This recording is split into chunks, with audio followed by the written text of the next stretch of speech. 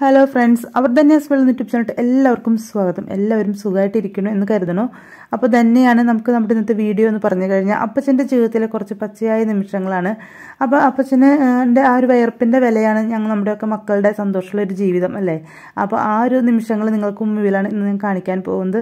കൂടുതലും അപ്പച്ചനെ ഞാൻ ശ്രദ്ധിക്കാൻ തുടങ്ങിയത് എന്ന് പറഞ്ഞു കഴിഞ്ഞാൽ അപ്പ അമ്മയുടെ മരണശേഷമാണ് അപ്പച്ചനെ കൂടുതലായിട്ട് നമ്മൾ ഇങ്ങനെ ശ്രദ്ധിക്കാൻ തുടങ്ങിയിരിക്കുന്നത്. അപ്പോൾ അന്ന് തൊട്ട് ഇങ്ങനെ മനസ്സിൽ അമ്മയ്ക്ക് അമ്മയ്ക്ക് പകരമാണ് അപ്പച്ചനെന്ന് തോന്നിയിട്ടുണ്ട്. അമ്മ ചെയ്യേണ്ട എല്ലാ കടമകളും അമ്മയുടെ മരണശേഷം അപ്പച്ചൻ ഞങ്ങളുടെ ഞങ്ങൾക്ക് കാണിച്ചു തരാണ് അല്ലെങ്കിൽ ചെയ്തു തരാണ് ഞങ്ങൾക്ക്. അപ്പോൾ ഈ ഒരു ചെടിയുടെ പ്രത്യേകത പറഞ്ഞു കഴിഞ്ഞാൽ ഇത് അമ്മ വെച്ച ചെടിയാണ്. ഈ ചെടി വെച്ച് കുറച്ച് നാൾ കഴിഞ്ഞപ്പോഴേക്കും അമ്മ മരിച്ചു. ഇത് പൂത്ത് കാണാനുള്ള ഒരു ഭാഗ്യം അമ്മയ്ക്ക് ഉണ്ടായില്ല. അപ്പോൾ ഈ പൂ ചെടി വെച്ചതിന് ശേഷം അമ്മയ്ക്ക് ഈ പൂ ഭയങ്കര ഇഷ്ടമായിരുന്നു. നമുക്കിത് കാണാൻ ഒരുപാട് ആഗ്രഹം ഉണ്ടായിരുന്നു. പൂ കണ്ടിട്ടുണ്ടെങ്കിലും അമ്മ വെച്ച ആ ചെടി നമ്മുടെ വീട്ടുമുറ്റത്ത് പൂ വിരിയുന്നത് അമ്മയ്ക്ക് കാണാൻ പറ്റിയില്ല. അപ്പോൾ ഞാൻ ഇതിപ്പോൾ പൂ വിരിയുമ്പോൾ എപ്പോഴും അമ്മയ്ക്ക് ഇത് പൂ വിരിഞ്ഞിട്ടൊന്നും കാണാൻ പറ്റിയില്ലല്ലോ എന്ന് ഞാൻ എപ്പോഴും ഞാൻ ഓർക്കാറുണ്ട്. അപ്പോൾ പിന്നെ നമുക്ക് നമ്മുടെ അപ്പച്ചന്റെ വീഡിയോയിലോട്ട് തന്നെ വീണ്ടും പോകാം. അപ്പച്ചന്റെ കാലത്ത് എഴുന്നേറ്റ് കഴിഞ്ഞാൽ ഏറ്റവും ഫസ്റ്റ് ചെയ്യുന്ന ഒരു കാര്യം ഈ ഒരു ബൈബിൾ വായനയാണ്. കുറേ നേരം കുത്തിരുന്ന് ബൈബിൾ വായിക്കും. അതൊരു നാല് മണിക്ക് എഴുന്നേറ്റോ അഞ്ച് മണിക്ക് എഴുന്നേറ്റോ ആറ് മണിക്ക് എഴുന്നേറ്റോ എന്നില്ല. എപ്പോഴാണോ കാലത്ത് എഴുന്നേൽക്കണേ അപ്പോൾ പല്ലേച്ച് ഫ്രഷ് ചെയ്ത് വന്നു കഴിഞ്ഞാൽ ബൈബിൾ വായനയാണ് ഏറ്റവും ഫസ്റ്റ് ചെയ്യുന്ന ഒരു കാര്യം. ബൈബിൾ വായന ബൈബിൾ വായിച്ചിട്ട് ലൈഫിൽ എല്ലാ ബാക്കി എല്ലാ ബിസിനസ് ആണെങ്കിലും ജോലിയാണെങ്കിലും ഒക്കെ ആൾ സ്റ്റാർട്ട് ചെയ്യുള്ളൂ. അപ്പോൾ ഞങ്ങൾ കാലത്ത് ആഴ്ചയിൽ എല്ലാ ദിവസവും ഇല്ല ചില ദിവസങ്ങളിൽ ഇതുപോലെ കാലത്ത് നാലര മണിക്ക് ചന്തയിലോട്ട് പോകണം അപ്പോൾ മാർക്കറ്റിലോട്ട് എത്തിക്കഴിഞ്ഞാൽ അവിടെയാണ് പിന്നെ കാലത്തെ ബിസിനസ് ആഴ്ചയിൽ രണ്ട് ദിവസം മൂന്ന് ദിവസം ഉണ്ടാവത്തുള്ളൂ. എല്ലാ ദിവസവും ഞാൻ പോവാറില്ല. ഞാൻ ഈ മാർക്കറ്റിലോട്ട് ഞാൻ ആദ്യമായിട്ടാണ് ഈ ടൈമിൽ വരുന്നത്. അപ്പോൾ ബാക്കി നമ്മുടെ വീടിന്റെ അടുത്തുള്ള മറ്റ് ഷോ മാർക്കറ്റുകളിലേക്കും കാര്യങ്ങളിലേക്കും ഞാൻ പോവാറുണ്ട്. അപ്പോൾ ഈ ഒരു മാർക്കറ്റിലോട്ട് അന്ന് പോണ ആൾക്കാർ ഉണ്ടായിരുന്നില്ല അപ്പോൾ ഞാൻ യാദൃശികമായിട്ട് എനിക്ക് ഈ മാർക്കറ്റിലോട്ട് അന്ന് വരേണ്ടി വന്നത്.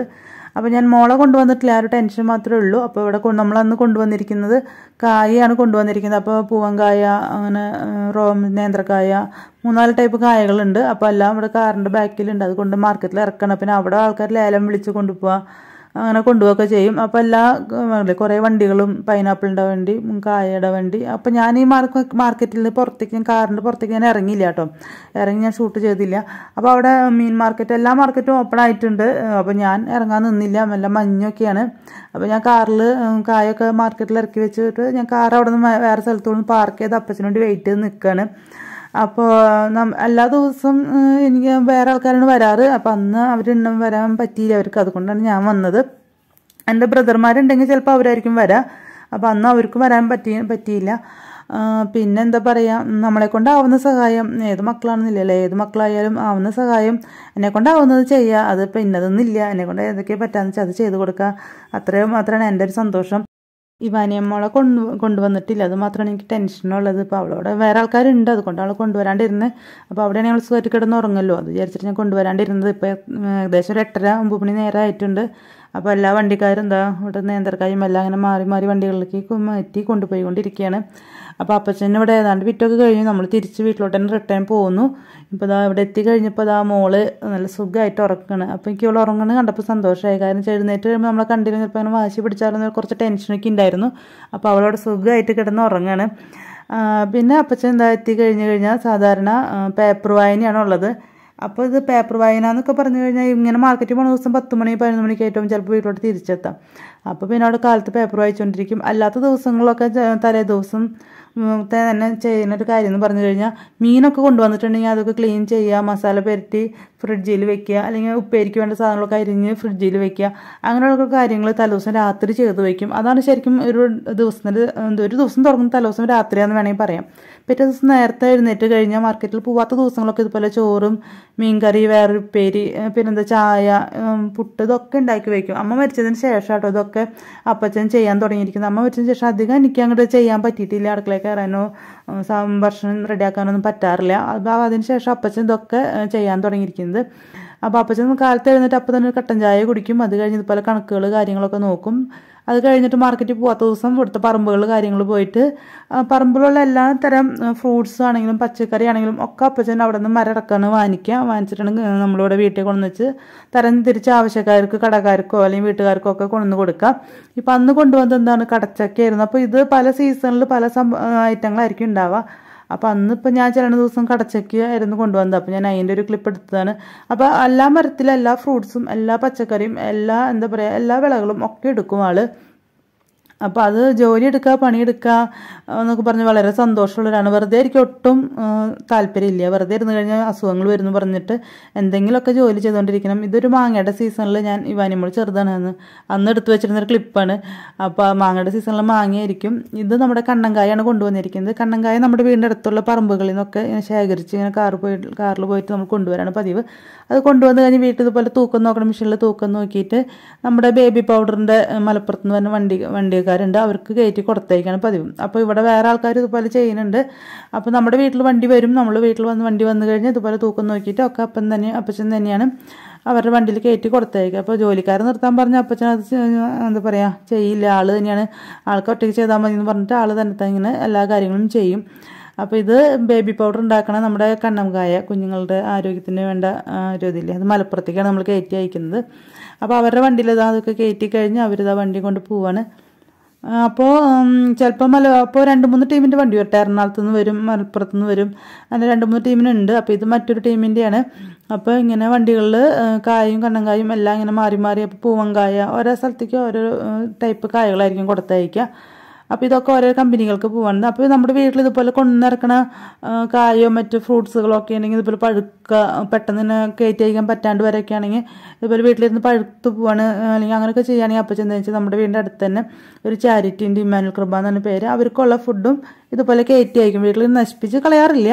മാക്സിമം ഇങ്ങനെ കൊടുത്തയച്ച് സംഭവം ഇതാക്കാറുള്ളൂ. അത് ചാരിറ്റിക്ക് കൊടുക്കാന്ന് പറഞ്ഞാൽ അപ്പച്ചന്റെ ലൈഫിലൊരു ഭാഗം തന്നെയാന്ന് പറയും. വളരെ ചെറുപ്പം മുതലേ ഞാൻ കണ്ടിട്ടുണ്ട് ഈ ഇമാനുൽ കൃപ എന്ന് പറഞ്ഞ ചാരിറ്റിക്ക് ആൾ വീട്ടിൽ എന്തെങ്കിലും ഫംഗ്ഷൻ ഉണ്ടെങ്കിൽ ഫുഡ് ഏൽപ്പിക്കുമ്പോൾ അവർക്കും കൂടെ ഒരു ഫുഡ് പറഞ്ഞ് ഏൽപ്പിച്ചിട്ട് അവർക്കും കൊണ്ടു കൊടുക്കാറുണ്ട്. ബാക്കി ജോലിയൊക്കെ കഴിഞ്ഞാൽ കുറച്ച് സമയം വാനിമോളുണ്ടെങ്കിൽ കുറച്ച് സമയം ഇതുപോലെ റെസ്റ്റ് എടുക്കണം. കണ്ടിട്ടുണ്ട് അവളോട് കുറച്ച് കളിപ്പിക്കുക കുറച്ചേരം ഇരിക്കുക അങ്ങനെയൊക്കെ കാണും. അല്ലെങ്കിൽ തീരെ റെസ്റ്റ് എടുക്കാറില്ല. ഇത് നമ്മുടെ വീട്ടിലുണ്ടായ ജാതിയാണ്. ഈ ജാതി ഇപ്പോൾ ഉണക്കി പൊടിച്ച അതിന്റെ ഫ്ലവറും കുരുമൊക്കെ വേറെ തിരിച്ച് കൊണ്ടുപോയി സെപ്പറേറ്റ് വിൽക്കും അപ്പോൾ ഇവാനിയമ്മൾക്ക് ഭയങ്കര ഇഷ്ടമാട്ടോ ഇതിങ്ങനെ പണിയെടുക്കാമെന്ന് പറഞ്ഞ്. കുരുമുളക് ഉണ്ടെങ്കിൽ അങ്ങനെ കുരുമുളക് എന്നുള്ളതെന്ന് പറഞ്ഞാൽ ഭയങ്കര ഇഷ്ടമുള്ള കാര്യമാണ്. പിന്നെ വൈകുന്നേരമൊക്കെ ആയി കഴിഞ്ഞാൽ ചില ദിവസങ്ങൾ ഇതുപോലെ ഇങ്ങനെ ടി വി കണ്ട് കുറച്ച് നേരം റെസ്റ്റ് ചെയ്യും ഇങ്ങനെ റെസ്റ്റ് ചെയ്യുന്നത് സത്യം പറഞ്ഞാൽ കണ്ടിട്ടില്ല. അപൂർവ അപൂർവമായിട്ടാണ് ഇതുപോലെ റെസ്റ്റ് ചെയ്യുന്നത് ഞങ്ങളൊക്കെ കാണാറുള്ളൂ. പണിയെടുക്കുക അത് കഴിയുമ്പോൾ ഭക്ഷണം തന്നെ കഴിക്കില്ല ഭക്ഷണമൊക്കെ തയ്യാറാക്കുമെങ്കിലും അത് കഴിക്കുന്ന പരിപാടി ഇത്തിരി കുറവാണ് ആൾക്ക്. ജോലി എടുക്കാന്ന് ഒരൊറ്റ ഒരു ചിന്ത മാത്രമേ ഉള്ളൂ. ഇതൊക്കെ അപ്പച്ചന്റെ കൃഷികളും കാര്യങ്ങളൊക്കെയാണ്. അപ്പോൾ ജാതിന്റെ അതുപോലെ ഇത് എന്താ പറയുക കുരുമുളക് പിന്നെ അവിടെ കടച്ചക്ക അങ്ങനെ ഒരു അമ്പഴം ഒരുപാട് കൃഷികൾ അപ്പച്ച നടത്തുന്നുണ്ട്.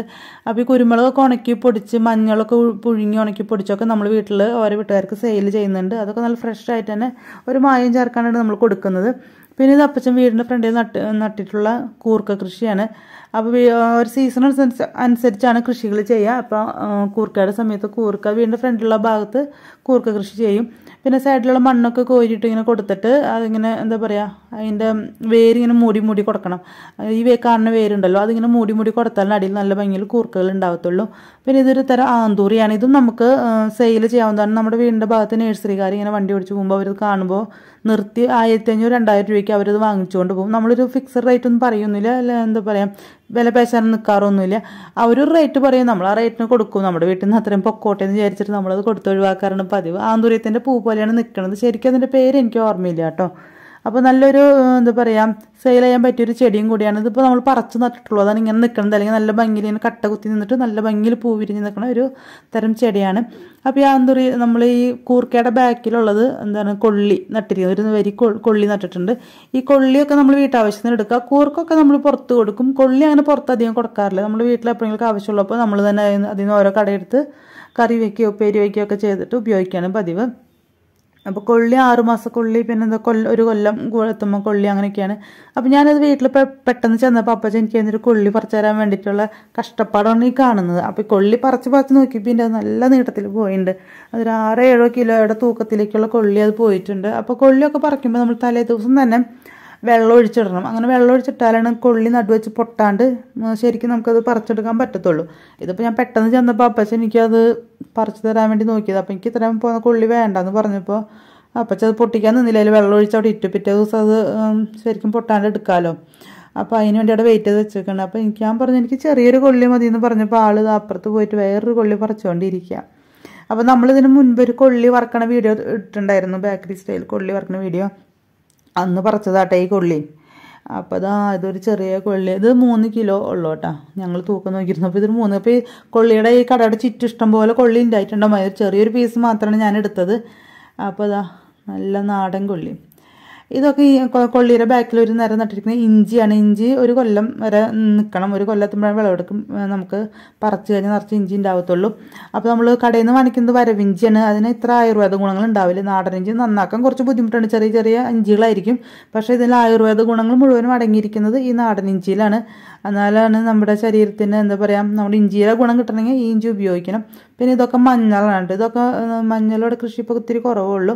പക്ഷെ മഞ്ഞളൊക്കെ നന്നായിട്ട് ഉണക്കി പൊടിച്ച് നമ്മളവിടെ ആൾക്കാർക്ക് കൊടുക്കുന്നതാണ്. അതിന്റെ ബാക്കിൽ നിൽക്കുന്ന എന്താണ്? ചേന ചേമ്പ് പിന്നെ ഇതാ പൈനാപ്പിൾ അപ്പോൾ ഇത് പൈനാപ്പിൾ രണ്ട് നേരമൊക്കെ നനച്ച് കൊടുക്കും. അപ്പച്ചൻ രണ്ട് നേരം നനച്ച് കൊടുക്കുമ്പോൾ നമുക്ക് പൈനാപ്പിൾ ഒന്നും വാങ്ങിക്കേണ്ട കടയിൽ നിന്ന് വാങ്ങിച്ച് കഴിക്കേണ്ട കാര്യം. ഇതിപ്പോൾ വർഷങ്ങളായിട്ടുള്ളതാണ് ഈ പൈനാപ്പിൾ കൃഷി അവിടെ ബാക്കിൽ ഇഷ്ടം പോലെ ഉണ്ടാവും. നല്ല വലിപ്പമുള്ള പൈനാപ്പിൾ ഉണ്ടാവും. മൂന്നോ നാലോ കിലോടൊക്കെ അത്രയും തൂക്കമുള്ള പൈനാപ്പിൾ ഉണ്ടാവും. അതുപോലെ നല്ല മധുരമായിരിക്കും കേട്ടോ. അപ്പോൾ ഒരു ഏപ്രിൽ മാർച്ച് ഏപ്രിൽ മാസത്തേക്കാണ് അത് ഉണ്ടാവുക.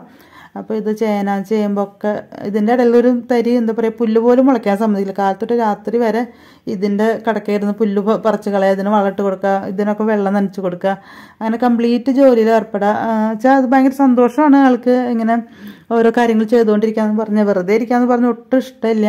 അപ്പം ഇതൊക്കെയാണ് അപ്പച്ചന്റെ ലൈഫിലെ കാര്യങ്ങൾ അപ്പോൾ ഇത് ഫുള്ളായിട്ട് എടുക്കാനൊന്നും പറ്റിയിട്ടൊന്നുമില്ല. കുറച്ച് കുറച്ച് കാര്യങ്ങൾ ഇങ്ങനെ ക്ലിപ്പായിട്ട് എടുത്ത് വെച്ചത് ഞാൻ ഒന്നിച്ചതിന് ചേർത്തതാണ് നമ്മൾ അപ്പോൾ ഞാൻ നിങ്ങൾക്ക് കൃഷിയെക്കുറിച്ച് ഒറ്റയ്ക്ക് പറഞ്ഞു തരാൻ വെച്ചിട്ട് ഇങ്ങനെ എടുത്തതാണ്. പിന്നെ എല്ലാം കൂടി ഈ ഒറ്റ വീഡിയോയിൽ ഉൾപ്പെടുത്താമെന്ന് കരുതി. അപ്പോൾ നമ്മുടെ ഇത്രയും നാൾ വീഡിയോ കണ്ട എല്ലാവർക്കും താങ്ക് യു ഇനിയും നിങ്ങളുടെ സപ്പോർട്ട് പ്രതീക്ഷിക്കുന്നു. ചാനൽ ആദ്യമായിട്ട് കാണുന്നൊരു സബ്സ്ക്രൈബ് ചെയ്ത് തൊട്ട് ബെൽ ബട്ടൺ ഓൾ എന്ന ഓപ്ഷൻ കൊടുക്കുക. Bye bye